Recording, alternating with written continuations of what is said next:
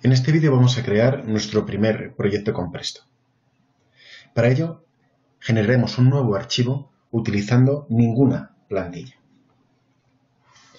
En primer lugar, lo que haremos será crearnos una lista de capítulos. A continuación bajaremos de nivel y rellenaremos cada uno de los capítulos con las distintas partidas. Y posteriormente generaremos los descompuestos de esas partidas. Para ir rellenando los conceptos, lo haremos desde la ventana de presupuesto. Lo que es importante es ir rellenando el código. El código me permite identificar cualquier concepto dentro de Presto. El mismo código hace siempre referencia al mismo concepto, con lo cual, una vez que yo haya generado una partida, si quiero repetir esa partida en otro capítulo, no tengo nada más que rellenar el código y el resto de datos se actualizarán automáticamente. El código del primer concepto va a ser C 0,1.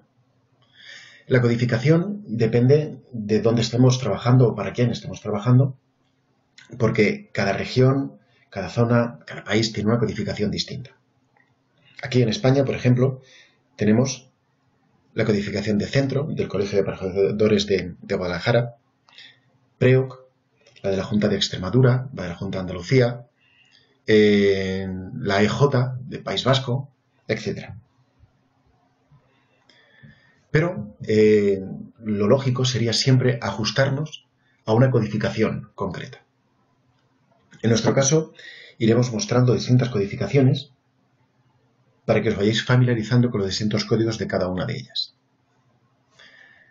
Lo normal es que los capítulos empiecen por la letra C mayúscula o simplemente el número de capítulo. Por lo tanto, nos encontraremos habitualmente pues, C01 o capítulo 01 o simplemente 01. Nuestro primer capítulo va a ser C01. Fijaros que cuando le asigno el código, aparece la naturaleza. La naturaleza es el tipo de concepto con el que estamos trabajando. Si pulso con el botón derecho, puedo ver los distintos tipos de naturaleza. Como estoy en el primer nivel, es decir, justo por debajo del nivel de proyecto, Presto sabe, o identifica, mejor dicho, que el concepto que estoy creando es un concepto de tipo capítulo. Luego iré a la columna de resumen, que es donde voy a poner el título rápido de este capítulo. Será demoliciones y nivelación desolado.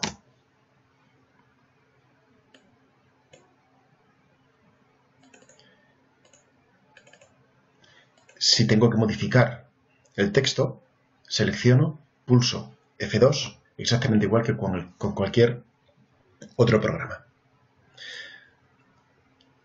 Si hago doble clic sobre un concepto, entro dentro de ese concepto.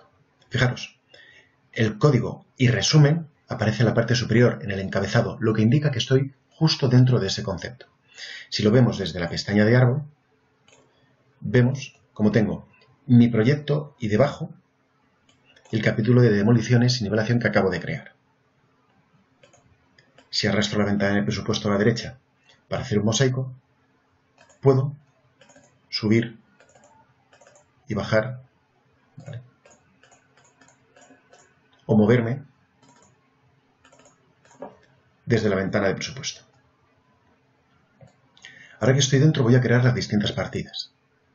Depende de la codificación, las, partidas pueden, empezar con letra e, o con la letra O, o con la letra U, ¿vale? Normalmente mayúsculas, o simplemente con un código numérico. Por ejemplo, como estamos en el capítulo 01, la primera partida puede ser 01.01. Vamos a hacerlo de esta manera. 01.01. Fijaros que asigna el código de naturaleza partida. Botón derecho, partida. Porque estoy creando un concepto dentro del capítulo. Si para mí este concepto fuera un subcapítulo, tendría que pulsar con el botón derecho y simplemente cambiarle la, naturaleza a capítulo, capítulo y subcapítulo. O al revés, si pusiera por error la naturaleza de capítulo, puedo sustituir la naturaleza muy rápidamente con el botón derecho. Y el concepto va a ser